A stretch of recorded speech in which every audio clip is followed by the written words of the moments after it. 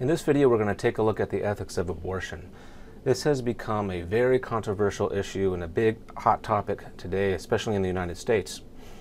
For the purposes of this video and thinking about abortion, I want you to try to come at this with a blank slate. The reason is because many people find this issue to be extremely important and it can sort of place us in different camps or different tribes. And when we discuss issues that we sort of identify with as sort of part of our tribe or part of our camp, it can start biasing our thinking. So for the purposes of this video and to try to be as objective as possible, try to come at this issue with a blank slate. So let's first, before we get into the ethics, let's take a look at some of the facts and some of the science of pregnancy and the stages of pregnancy. So there are basically three stages of pregnancy, the first, second, and third trimester. The first trimester um, happens when the egg is fertilized, forming a zygote. This, around after around five days, implants, forms an embryo, and then after around 56 days or so, it becomes a fetus, taking on a human shape, and it's about the size of a raspberry after eight weeks. Now, 90% of abortions happen uh, in this phase, in the first trimester. Uh, in the second trimester, 13 to 24 weeks, uh, the sex can be determined. Uh, quickening happens, which is when the mother can feel um, the unborn kick his or her feet. And viability happens, which is the ability to survive outside the womb. Um, now, viability is a very important time because, according to law, which was established by Roe v. Wade, abortion is illegal after viability. Now, there are a couple of um, uh, phases during pregnancy that many people would consider morally relevant, so that are important for the moral debate. Um, implantation is a morally relevant phase, according to many people. Um, the point at which the fetus or the, the embryo takes the form of a person may also be a morally relevant uh, phase during the, this process. Whether or not the unborn can feel pain is also morally relevant. And according to the studies, uh, an unborn cannot feel pain prior to around uh, 24 weeks. There are a couple different studies on this, so it's around 24 weeks, um, which means that according to all these studies, uh, the fetus cannot feel pain in the, in the first trimester. So that's an important point regarding the morality. Uh, viability is also very important, as we said before. Now, I would say for our purposes in discussing this debate, let's just focus on whether or not abortion is permitted in, in the first trimester, since that's when most abortions actually occur. Okay, so here's uh, some visuals, which many people consider morally important. Um, as you can see, around this time is when the fetus takes a more sort of human form. And some people have argued that this is the point at which the fetus becomes a person and has rights and so on. So what it looks like may be morally relevant, which is why I have this slide. Here are some just quick facts uh, on U.S. abortions, abortions. Half of all pregnancies are unintended. 21% of unintended pregnancies end in abortion. Uh, those don't include miscarriages. In 2011, one about a million abortions were performed. That's a little bit less than the years prior. Uh, each year, 1.7% of women between 15 and 44 have an abortion. 37% of women having abortions say they are Protestant. 28% say they're Catholic. 51% of women who have abortions had used contraception during the month that they became pregnant. That's that's pretty interesting. So about half of women who have abortions actually use contraception. The risk of death associated with abortion is one death per million abortions performed at eight weeks or earlier. Less than 0.5% of women having first trimester abortions suffer major complications. Um, so that's all to say. This is all to say that abortions are pretty safe, at least if uh, performed in the first trimester. Uh, women in their 20s are responsible for over 50% of all abortions. Women have it. Women who have one or more children account for 61% of abortions. So here are some statistics regarding abortion and public opinion. Uh, first question Do you think abortion sh- should be legal under any circumstances, legal only in certain circumstances, or legal in all circumstances? So, uh, 19% says it should always be illegal, 51% says sometimes legal, 21% says it should be always illegal or always legal. Uh, 50% are pro choice, 44% uh, are pro life, so it's pretty much evenly split. split. Do you personally believe that in general abortion is morally acceptable or morally wrong? Evenly split, split here. This raises a very important distinction, which is the morality of abortion versus the legality of abortion.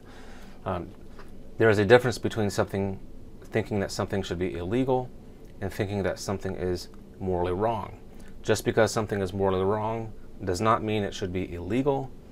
Just because something is illegal doesn't mean it's morally wrong. For example, um, it's morally wrong to cheat on your spouse, but it's not illegal. You're not going to go to jail for it or you're not going to get fined for it.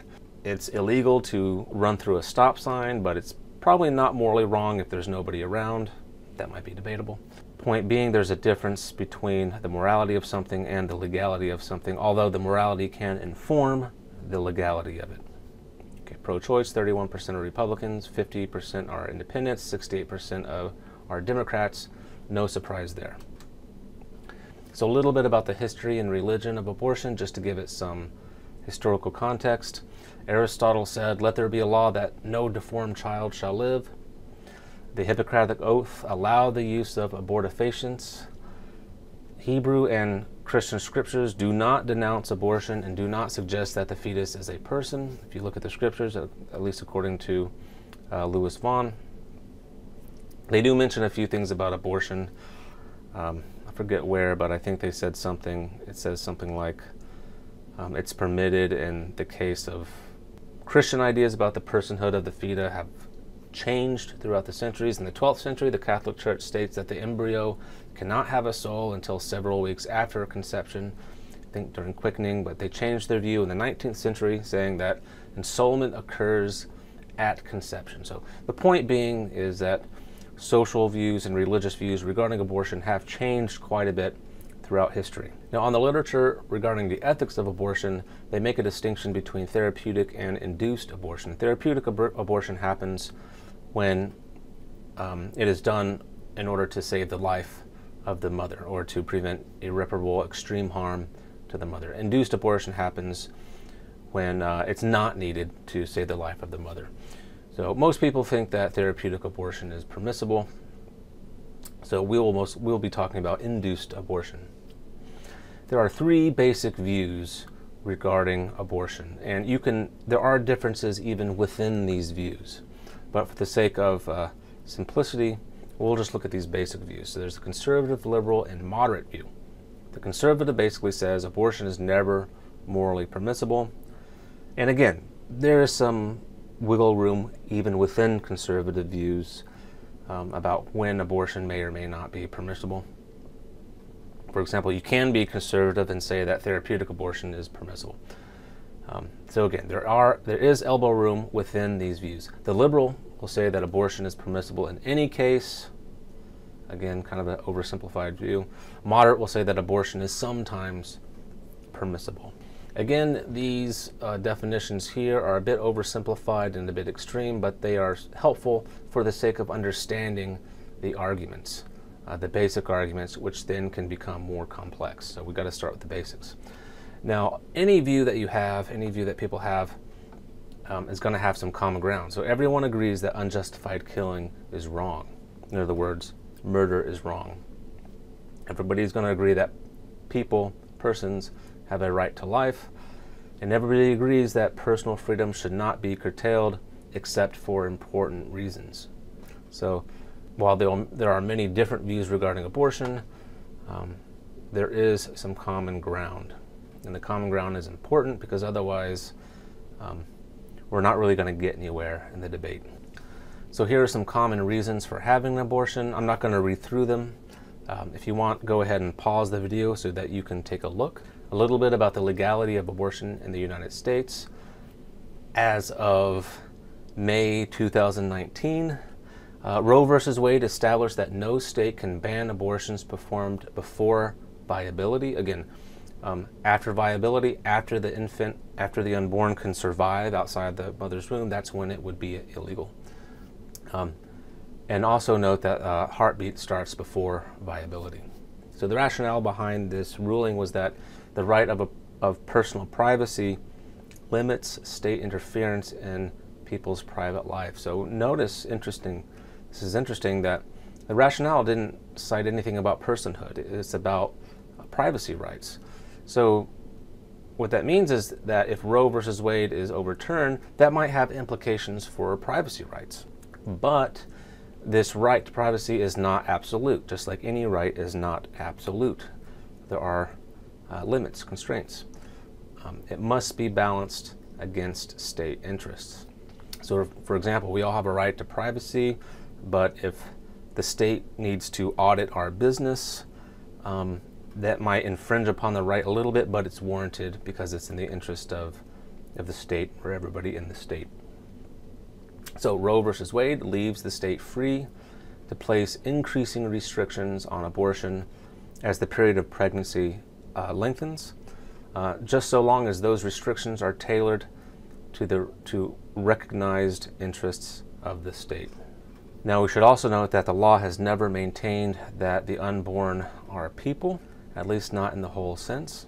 And according to standard legal doctrine, at least today, before viability, abortion can be restricted in, in many ways as long as the constraints do not amount to an undue burden on a woman who's trying to get an abortion. Okay, so let's start with the conservative view, which says that abortion is never permissible. The basic idea here, according to this first uh, stab at an argument, is that it's, it's wrong to kill an innocent human. The unborn is a human, therefore, it's wrong to kill the unborn. Uh, this argument seems to work on the face of it, but if you look closely, uh, there's actually a, uh, a fallacy, of equivocation. The argument is problematic because it equivoc equivocates human being, the use of the word human being here, with a different sense of the human word human being in premise two. Um, in premise one, human being basically means a person endowed with rights, the right not to be killed arbitrarily or not to be killed without just cause. Um, the second use of the word human being in premise two speaks of human as in, in the strictly uh, biological sense. So the, this argument actually is using two different senses of the word human being. Um, here's another way, perhaps a simpler way of understanding the problem here. Two, the unborn is an innocent human being, therefore it's wrong to kill the unborn, is presupposing that the unborn is a person. In other words, an entity that has rights. And that is the whole that's the whole issue. Is the unborn a person with rights? And this um, this argument doesn't do anything to say yes or no or to support an answer to that question.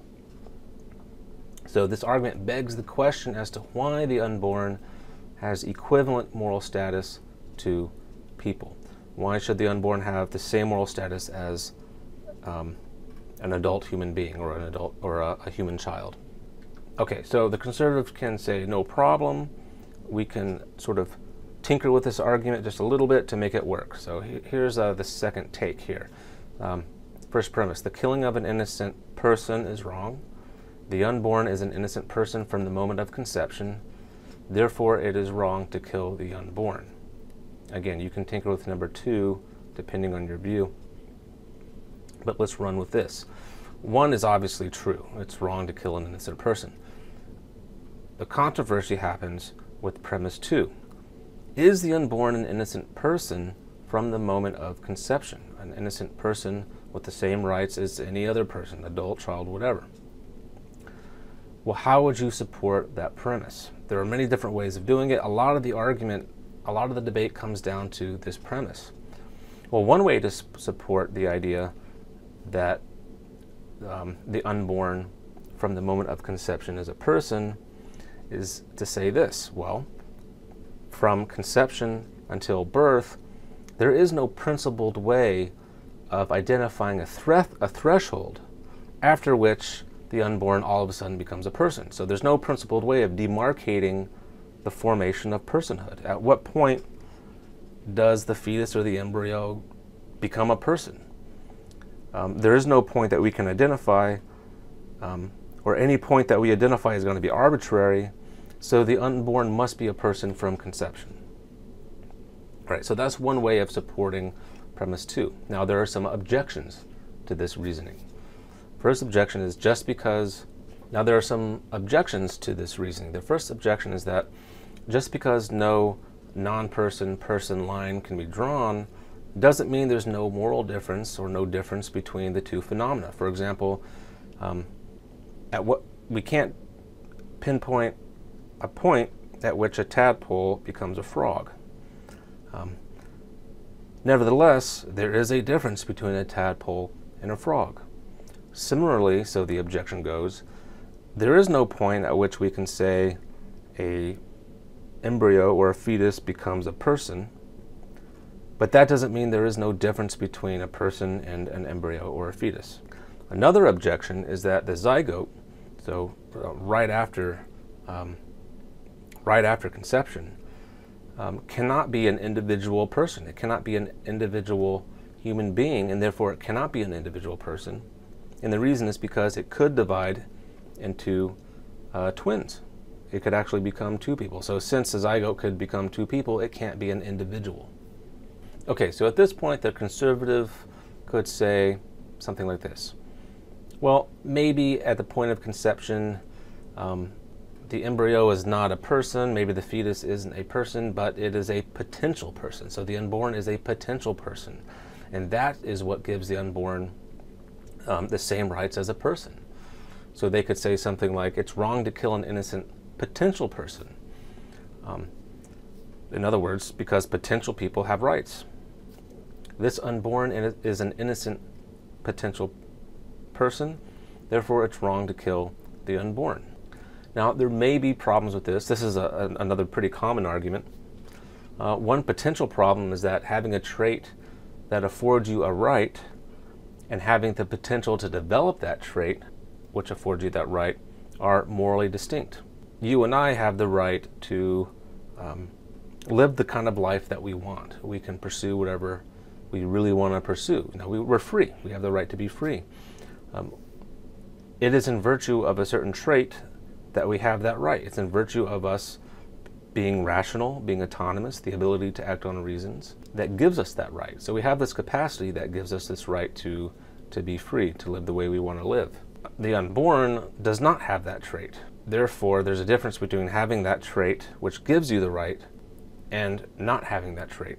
Another potential problem is that if X, whatever it may be, is a potential person, then X has equal rights to actual people. So that's basically what this argument is saying. But there's problems with that. This can result in absurdities. So, for example, with the appropriate technology, eventually your operating system could be a person depending on how you want to define person.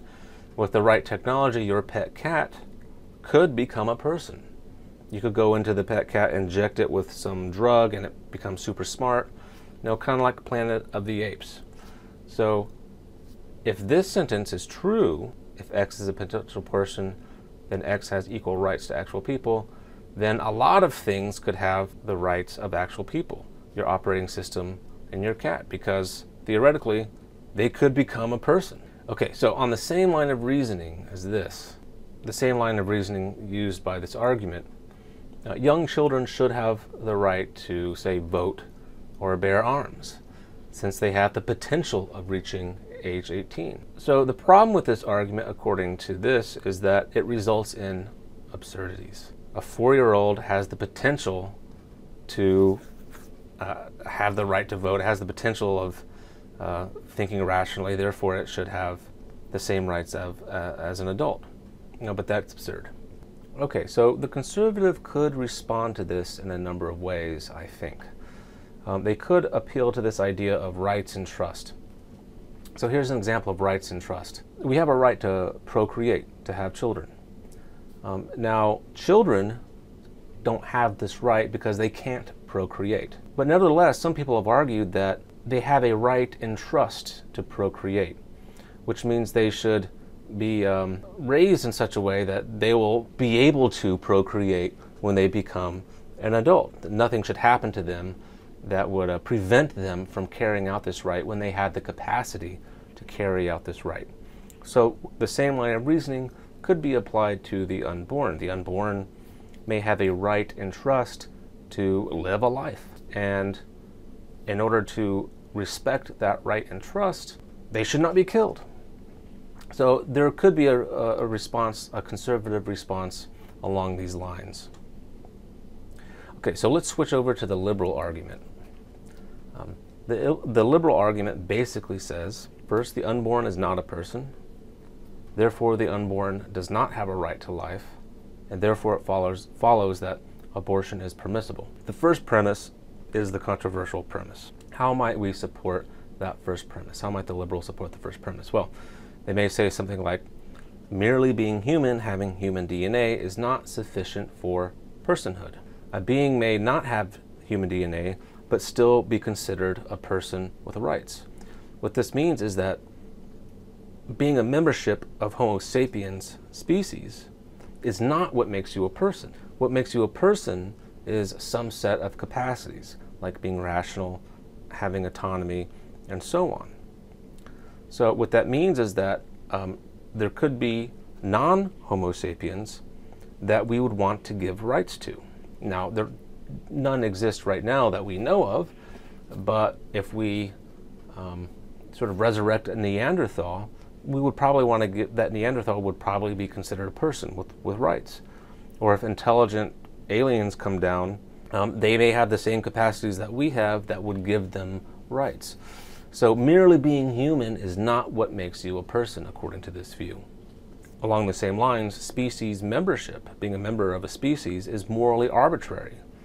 In other words, saying that something has rights because it belongs to some species, to a species, is to commit what some philosophers call speciesism, a kind of bias that we have in favor of our own species. So what this means is that some other set of traits needs to be present for a being to be considered a person. So again, the idea here is that being merely being a member of a species is not what makes you a person with rights.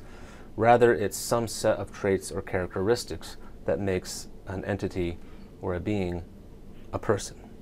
So what might these traits be? So Mary Marianne Warren listed a bunch of traits that might help constitute personhood. So five traits that are most central to personhood are, are these. Now, Possessing all these traits is not necessary for, for personhood, but possessing none of these traits would disqualify something from being a person. So here are the five traits. Um, they're conscious and have the ability to feel pain. They have the capacity to reason. Uh, they can engage in self-motivated activity. Uh, they have the capacity com to communicate. And they have the presence of self-concepts and self-awareness.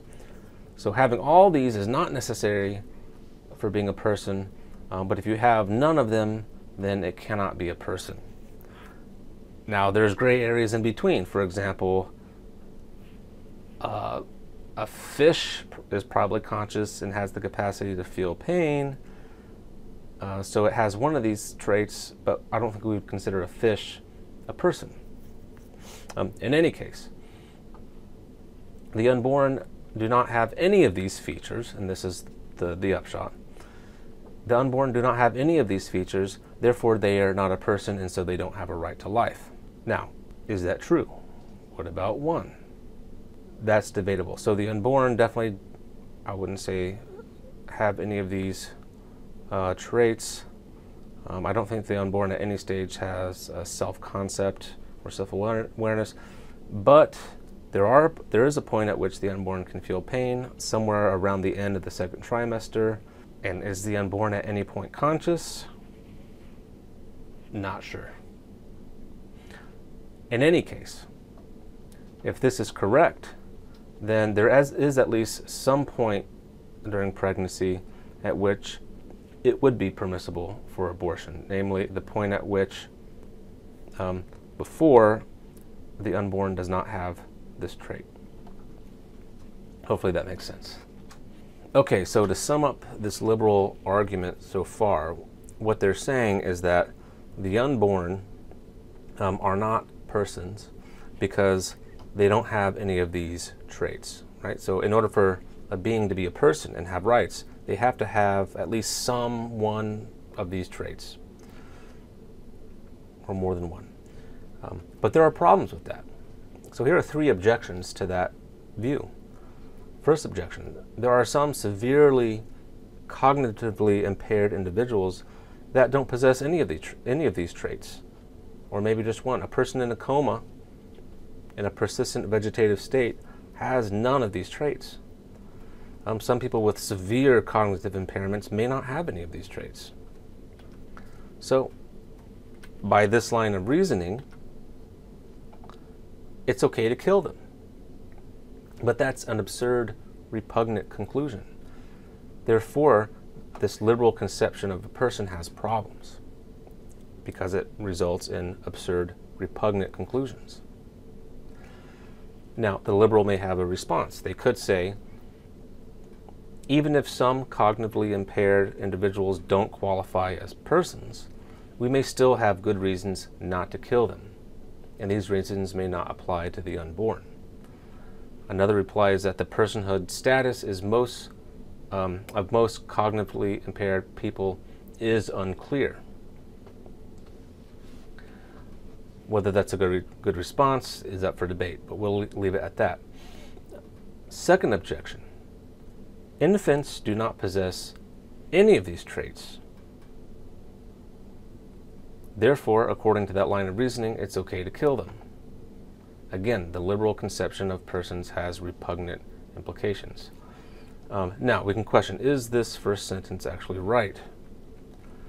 Well, infants do possess this, but is that enough to make them people? Again, fish also possess this, but we wouldn't call them uh, persons. So you would need more than that trait for it, something to be considered a person. But an infant only possesses this trait, therefore it seems like it would be okay to kill an infant. And that's repugnant. Third objection. Most liberals believe it's wrong to kill infants, but the liberal has a hard time explaining why it's permissible to kill a fetus just before birth, but not permissible to kill an infant.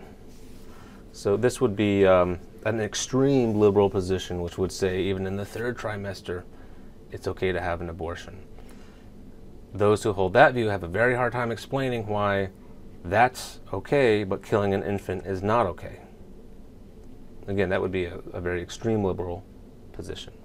The liberal may have a few responses to this. They may say, while infants are not full fledged persons, infanticide is rarely permissible because infants still have moral standing. This is because they are very close to persons.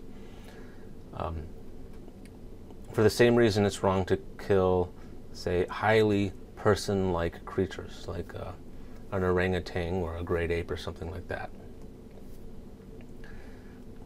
think of any problems with this if you can. Uh, another response is that infanticide should be condemned for utilitarian reasons. Uh, Joel Feinberg says this warmth and sympathy toward babies clearly has great, a great deal of social utility. Permitting infanticide would undermine this attitude, therefore, it would be bad for society. Okay, so let's move on to the moderate view. So this is the view in between the conservative or the extreme conservative and the liberal or extreme liberal. Basic argument. The unborn achieve pers personhood at point X. It's wrong to kill an innocent person. After point X, it's wrong to have an abortion. Now the big question is, what is point X? As I've defined these views, the liberal, conservative, and moderate view, most people take some moderate view. Um, and they differ depending on where they define point X. So at what point does the unborn attain the status of personhood and therefore has the same rights as any of us? So there are a few positions here. First position, a fetus achieves personhood somewhere between conception and birth. Well, where is that? Many different positions there. For example, many people would say uh, a fetus or the unborn achieves personhood at viability. That is, when it can survive outside the mother's womb. Others might say a fetus achieves personhood at the point when it can feel pain. If it can feel pain, then it has a right to not suffer because it can suffer. Others may say when the heart starts beating, that that's the point at which the fetus becomes a person with rights, um, and so on. So there could be other points as well. Now, notice if you really try to think this through, it's actually very difficult to pinpoint some stage or moment at which the fetus becomes a person. Um, but that doesn't mean that this uh, will run into a dead end. Um, I think it is, it can be helpful to go this route. Now, another position is that a fetus gradually achieves moral standing, um, approximating high moral status as it develops. So, what this means is that um, at conception until birth, the more it develops, the higher the moral status it achieves. So that at the point right before birth, it has it has full-fledged personhood and has the same rights as, a, as an adult. Um, in the first trimester, say, it may have some rights, it may have some moral status, but it's a lower moral status than an adult human being. So it may have the same moral status as, uh, I don't know, a dolphin or something. And um, it's up for debate what it is that makes it have a higher moral status versus a lower moral status. For example, maybe the more sophisticated its awareness, the higher moral status it has. The third uh, position is that the fetus is a person with a right to life. However, this right does not guarantee having either a right to be given the use of or a right to be allowed continued use of another's body. So this is a famous view developed by Judith Thomson in her piece A Defense of Abortion. So here she's she's assuming that the fetus is a person with a right to life. But nevertheless, she says that that does not entail that the fetus has a right to basically um, sort of use the woman's body in order to survive. The unborn's right to life, in this case, is not absolute. There are limits. All right, so that's the video on abortion. Hopefully it's, uh, it clarified some of the main arguments for and against and in between. I think there are two big issues when it comes to the debate about abortion. The first issue is the issue of personhood. At what point does the unborn become a person with full fledged rights, if at all? And some would say there is no point. And how do we figure out that point? Is it at viability? Is it when it can feel pain? Is it when the fetus can have a heartbeat? And so on. That's one big important issue in this debate. Another big important thing to keep in mind is that even if the unborn has a right to life, there are other considerations that matter. So, the right to choice is also a consideration that morally matters here. And some people will say that right to choice may trump the right to uh, life that the fetus may have, assuming it has it. So again, the basic idea here is that um, there are many moral considerations that come into this issue in addition to the moral status of the unborn. There's also the moral status of um, the female, the, the woman, and there's also the overall consequences of making it illegal or legalizing it, the consequences on society. So there are a lot of moral considerations that come into play here, and we need to sort of open our minds and look at all of them when we investigate this issue. All right, thanks for watching.